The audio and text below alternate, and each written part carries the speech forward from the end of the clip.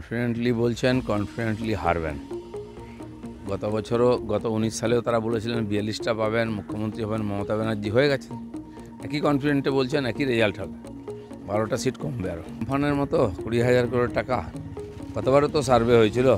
তারপরে দেখা গেলো, টাকাগুলো সব টিএমসির কর্মীদের বাড়িতেই চলে গেল।